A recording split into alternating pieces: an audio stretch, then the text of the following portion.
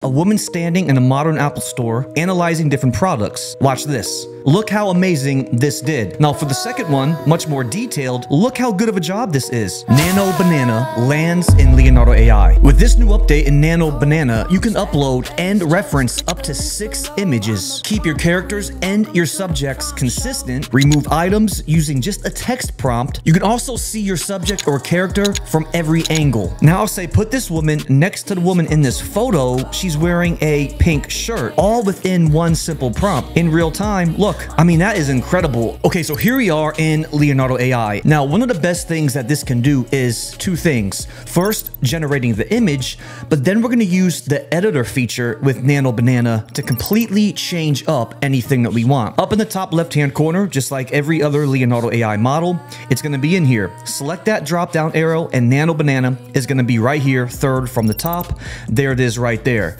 Now, not only can you generate the images directly with Nano Banana, but we're going to be using some of the most powerful AI editing features. Now, one thing you'll notice on the left-hand side that we don't really have any other choices when it comes to selecting our aspect ratio. So for an example, if I go back to Lucid Origin, you could see on the left-hand side, I have my image dimensions over here to choose from.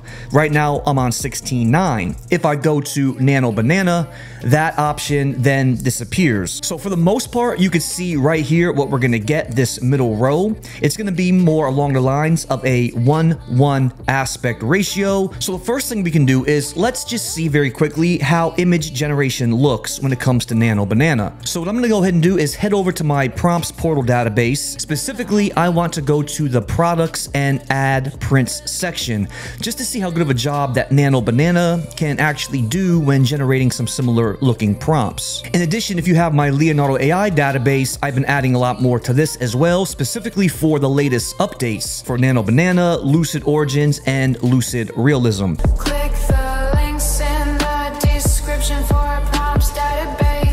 We'll head over back to Leonardo AI and paste it in. Let's now generate this one. In addition, let's come over here as well and try a product photo out how about of this shoe like this? Back into Leonardo AI, now look at this. These images are already done, and for the most part, they do look pretty good, pretty creative. Now, up at the top again, let's remove this one, and now paste in that shoe advertisement photo just like this. Now, this is just going to show you what these actual images look like if you're using Nano Banana just for complete image generation alone.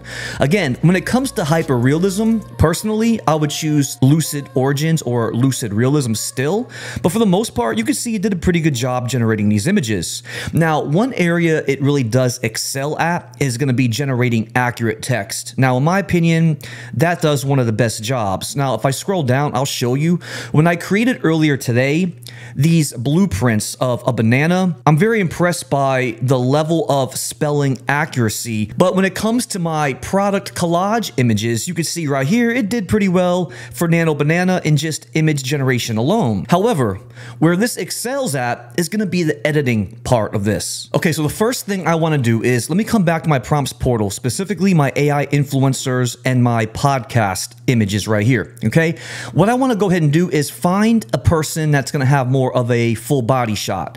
Okay, here we are right here. We're to go ahead and use this one the first time around. And then I'll do another one utilizing a man. So what I'll do now is copy this prompt right here and actually generate an image as well. So back in the Leonardo AI, let me go ahead and generate that image very quickly while it is in my clipboard and paste this in.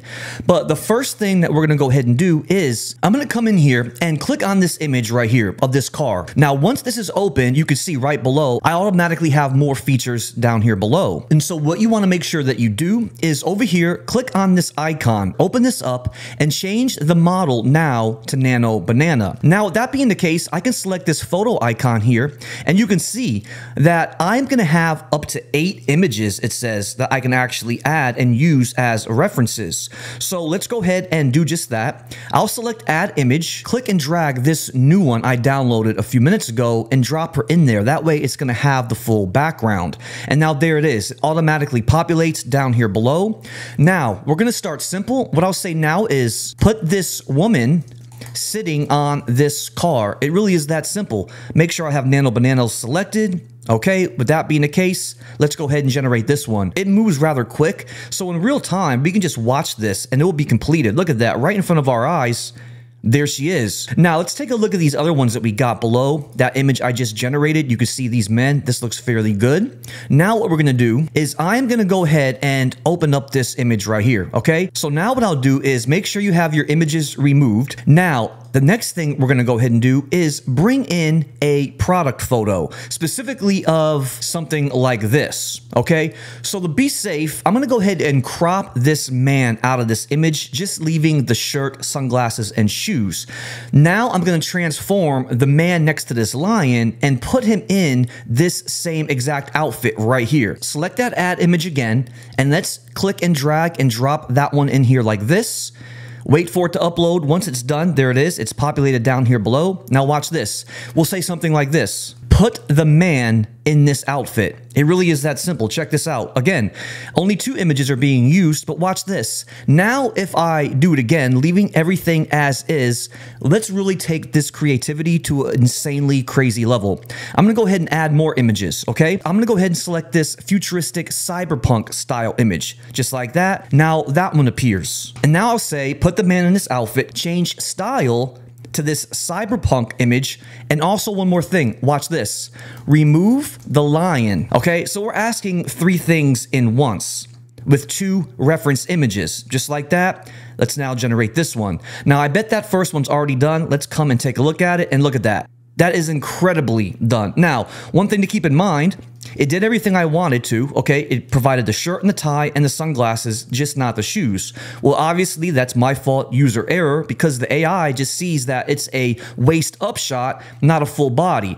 So if you would have added a full body shop, or if I would have, it would have actually added those shoes as well. But you can see relatively quickly just how good of a job it actually did just doing this. Now, to do this again very quickly, which we will, now look at this though. look at this image. Pretty cool. I mean, the shoes, it's that cyberpunk style. It removed the lion.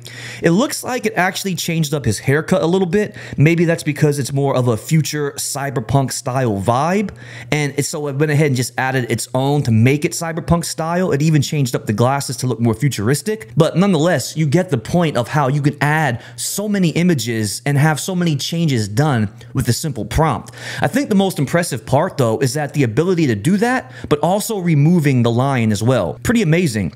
Now, if I click this image one more time and I come in here and I say, put him in this outfit and actually make it full body shot, let's see if it can actually do that. Okay, so we're gonna go ahead and give this a pretty tedious task. Put the man in this outfit, make a full body shot to show the shoes, remove the lion, put the man walking down the runway of Paris Fashion Week. That's a lot to expect. I'll be impressed if this can actually make this happen. All right, let's go ahead and X this out. It's still thinking, but look at that. Right off the bat, Wow, pretty impressive. I mean, it did all of that. Now, since I said full body shot, I think that's why it kept the aspect ratio, but it narrowed it down to where it could actually do that because now it's more of a 916 aspect ratio, but it gave me everything I wanted. I'm now going to select add more images again and try something else very quickly. I'm to go ahead and select this car. There's a woman next to this black car. Now what I'm to say is put this woman inside this car. And now look at that. Two out of the three images, it did it. It left the current woman in there, but now you could see that other woman, she's kind of like just creeping out with that door open. I mean, that's pretty good. Now, in particular, I want to go to a scenery architecture type prompt, specifically like a beautiful looking home. And this might be a good one right here. You could see it's fully daytime just like this. So what I'll go ahead and do is I'll just go ahead and copy this prompt right here this is one of my favorites, by the way, specifically for that secret token. The secret token I used, it's a pretty long one. It's going to range from this Sony to the lens, and then at the very end, this ProRes. I'll actually show this on the screen. That way you have time to copy it and use it yourself. It is going to produce some very realistic looking images. But now if we go back over into Leonardo AI, I'm going to generate this image using Lucid Origin because I want it to actually look very realistic. And I also use Lucid Realism. That way we can choose from the two best images. And look how good of a job these images actually turned out. Fantastic. I'll go through each one and we'll choose one very quickly. Let's go ahead and go with this middle one right here. And now watch this. Change the scene to blue hour. Okay, we'll start with simple, just like that, generate this. But at the same time, I'm also going to say change the scene to nighttime with bright stars in the sky, right? Now, and comma, let's go ahead and add an image click that image button. And now what I'll do is select this image of this orange supercar, add this car on the grass. Now that might not look good because there's not enough space for the car, but let's just see what happens if I select the generate. Now let's go and check out the other one. Look at this one, blue hour, perfectly done. Okay, so the original image you can see right here, more daytime. That blue hour is kind of like the sun setting right before dusk. There it is, just like that. The other one, okay, interesting. It did it Wow. Now we definitely get the nighttime with the stars in the sky, and it put the car in the image itself, sort of on the pool. But again, that's my fault because I should have chose a better image, maybe with a driveway. But you get the point of how you can actually do this with multiple images, and it does work out pretty well. The last thing I want to do Let's try expressions and now the transforming looks. So now what I'll do is come back over here to this image right here. I'm to say make this woman laugh and smile, just like that, okay? We'll do that one.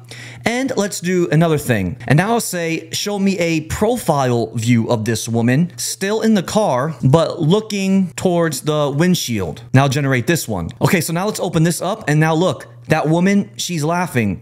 Amazing job. And the impressive thing about this is that it completely kept the character consistent. Now, if I go to the other one for the profile view, now look at that. Now remember the first image, she's looking at us. However, she's not smiling. And now this time, same woman again, forward facing, giving me more of that profile view. Now, if you want to see something incredibly impressive, look at this. I have a collage of Apple products as the main image. I have a woman down here at the bottom, and I'm using her as the reference or character image. With this prompt, watch what this produces.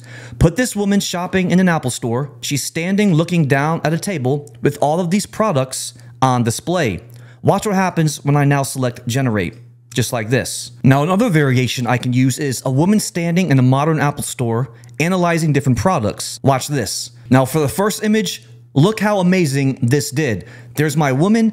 Here are all of my products right here. Amazing job. Now for the second one, much more detailed, I open this one up. Look how good of a job this is. I mean, this is incredible. There's my woman standing in that modern store looking down at the table. I mean, this is incredibly impressive. And you could see how quick this actually works. But now watch this. I'm going to go ahead and edit this even further. Now check this out. Change scene to nighttime. Heavy snowfall can be seen out the window. The store is lightly illuminated with neon LED glowing lights. We can just continue taking this to a whole new further and further level. Look at that. I mean, A, it's fast, it's pretty accurate, and there's everything I wanted. Nighttime, heavy snowfall outside, same scene. Now you can see those kind of subtle and gently lit LEDs. I mean, incredible. Now watch this. Now, Let's add another image. Remember how I said that we could add a lot more images? Now I'm gonna go ahead and select this woman right here, hit confirm. Now I'll say put this woman next to the woman in this photo. She's wearing a pink shirt. So now I can not only add a new person, but in addition, change up her wardrobe as well, all within one simple prompt. Now in real time, again, I'll X this out, 11, 12, 13 seconds in real time. Look, I mean, that is incredible the way that this can handle what I'm asking it to and leaving the environment, the consistency, the scene, my characters accurate, this is incredibly impressive. So there you have it, another banger of an update for Leonardo AI. Now, this is just the tip of the iceberg. There are so many creative things you could do, specifically the more and more you use different reference images. But let me know what you guys think in the comments below. And remember, if you like this video, please hit that subscribe button. I'll see you next time. Hit that subscribe, cause I'm a prompt star. Come and get in my car. Your dreams are never far. Subscribe to the Mules channel is so cool. If it's the last thing you do, subscribe to Metrics Mule. Yes, I got the tips, tons of prompts and